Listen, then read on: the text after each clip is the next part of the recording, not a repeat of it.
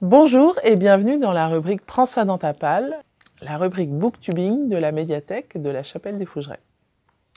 Aujourd'hui, je voulais vous présenter la bande dessinée de Zidrou et Aimé de Jong, L'obsolescence programmée de nos sentiments. Une bande dessinée qui m'a beaucoup émue et qui m'a poussé à vous en parler. Donc c'est l'histoire de deux soixantenaires, Méditerranée, qui vient de perdre sa maman après une longue maladie, et Ulysse, qui euh, lui est fraîchement retraité, donc il était déménageur et il vient, il vient de, laisser son travail, son équipe.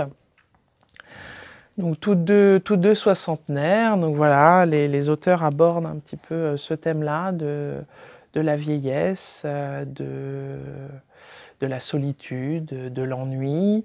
Donc les auteurs font le, focus sur les, sur les, deux personnages indépendamment au début de, au début de l'ouvrage. Méditerranée, donc qui vient de perdre sa maman, qui est une ancienne mannequin.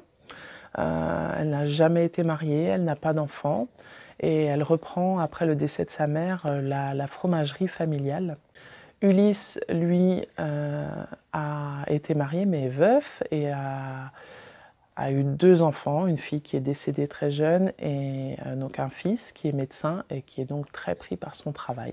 Tant le scénariste que la dessinatrice euh, mettent chacun à leur manière l'accent sur euh, les évolutions du corps de, de chaque personnage.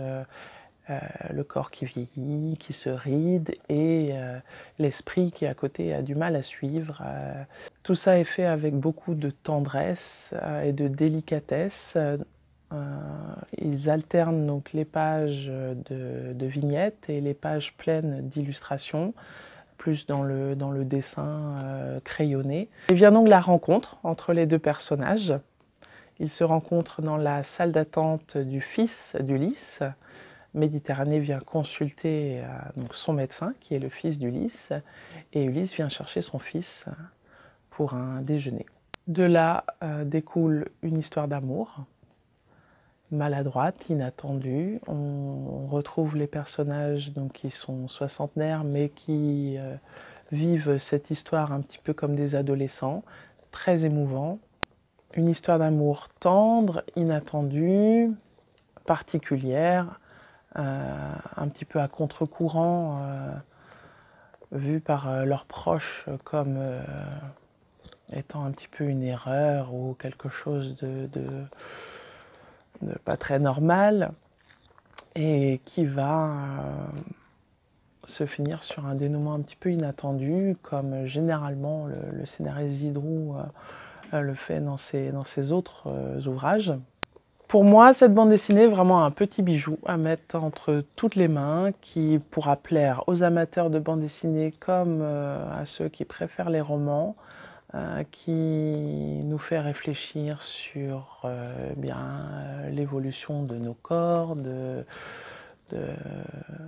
nos vies, de ce qu'on deviendra plus tard, de comment vivre et combler le, temps en fin de vie qui m'a mis quand même les larmes aux yeux euh, sur la fin.